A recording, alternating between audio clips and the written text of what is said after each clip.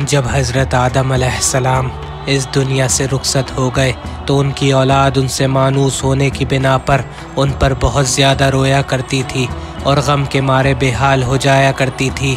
एक दिन शैतान ने उनके दिल में ये वसवसा पैदा किया कि वो अपने बाप जनाब आदम की शबी बनाए, जो कि उनकी दिली तसल्ली का बाइस बने।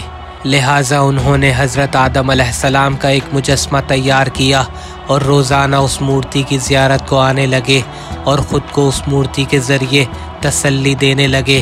बस कुछ अरसा गुजरने के बाद शैतान ने उनसे कहा कि तुम्हारे बाप आदम बुज़ुर्ग मोहतरम थे और तुम्हारे इस दुनिया में आने का सबब भी बने थे।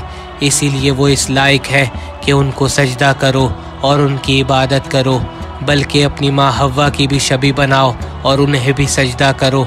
बस उन्होंने ऐसा ही किया। बस कुछ अरसा गुजरने के बाद लोगों के जहनों में ये बात रासिक हो गई कि यही उन लोगों के खालिक है और यूँ रफ्ता रफ्ता बुत परस्ती बनी आदम के दरमियान राइज हो गई। बस खुदा वंदे दो आलम, हम सबको तोहीद पर ईमान रखने की तोफ़ी अता फरमा। असलकुम आप तमाम लोगों के प्यार का बहुत शुक्रिया, जो आपने फेसबुक वीडियोस पर दिया।